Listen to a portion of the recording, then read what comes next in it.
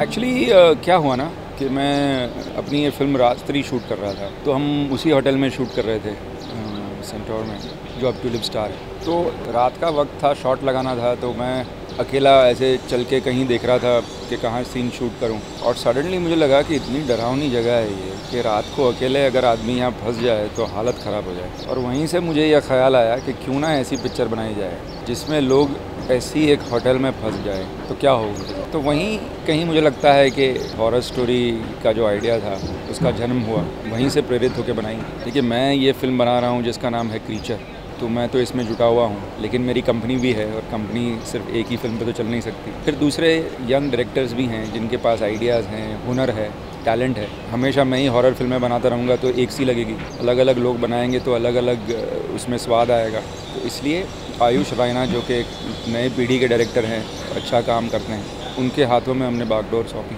Horror horror story जो picture है, उसमें एक नई किस्म की हॉरर बनाई है, जहाँ पे कोई गाना नहीं है, कोई लव स्टोरी नहीं, कुछ नहीं, सिर्फ़ एक रात की कहानी है। सात दोस्त एक होटल में एक रात, और उनके साथ क्या होता है? तो कंटिन्यूस हॉरर जो है बिगिनिंग से एंड तक हॉरर है पिक्चर में। जो भी डर मेरे अंदर है, ये ऐसी पिक्चरें बना बना के मैं सबको अपने साथ कर लेता हूँ थोड़ा।